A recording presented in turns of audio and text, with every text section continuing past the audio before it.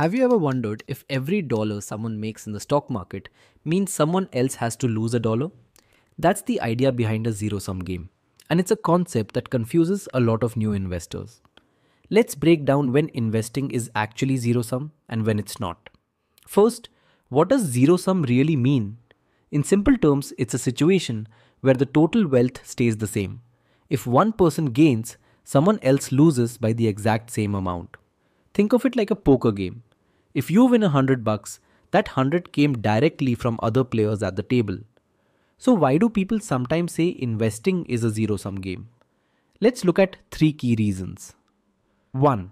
Every market trade has a buyer and a seller. If you buy a stock and it goes up, you profit, but the person who sold it to you misses out on that gain. Flip it around, and if the price drops, you lose and the seller looks smart. In this sense, the money just shifts from one person to another. 2.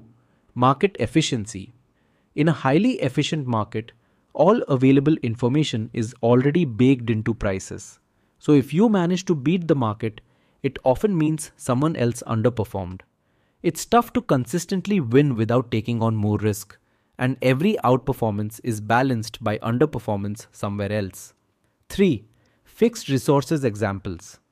Some markets, like options and futures, are true zero sum games. For every dollar one trader makes, another trader loses a dollar. The pie doesn't grow, it just gets sliced up differently every day. But here's where it gets interesting. The overall stock market and investing as a whole isn't strictly zero sum. Why? Because the economy can actually grow. Companies make profits, pay dividends, and reinvest to expand. When a business launches a successful new product or hires more people, it's creating value that didn't exist before. Let's look at a few simple examples. If you own shares in a company that pays a dividend, that's actual new money being generated and shared with investors. Or when a company goes public in an IPO, it raises new capital that can be used to grow, hire, and innovate.